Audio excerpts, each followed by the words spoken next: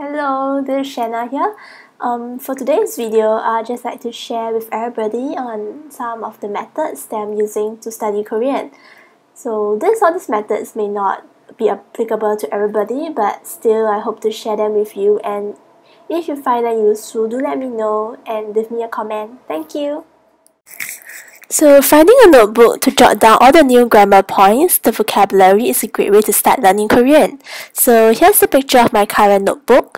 It's my seventh one so far and I use different color pens for different purposes. It makes the notebook more colorful and remember it's important to enjoy the learning process. So usually I don't use highlighters and I'll underline all the new vocabulary and only highlight those words that have problems pronouncing or where a special pronunciation rule applies. So for every new vocabulary, I'll input these three things. The vocabulary itself, the meaning, and an example sentence.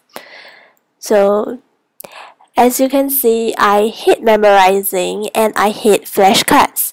I find that there's no point in forcing yourself to remember the new words, and the best way is to read widely. The more you read, the more words you come across. So it's highly likely that you will come across the same few words over and over again.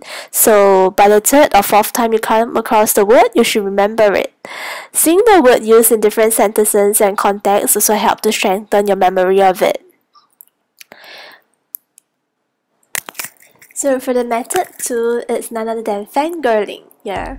So fangirling is the best motivation for you to learn Korean and I find that watching dramas, listening to songs and talking to yourself in Korean is also a great way of learning Korean. So I like to mumble to myself in Korean and it's a great way to practice speaking when you have nobody to talk to. So thanks for watching the video and I hope you like it. 감사합니다.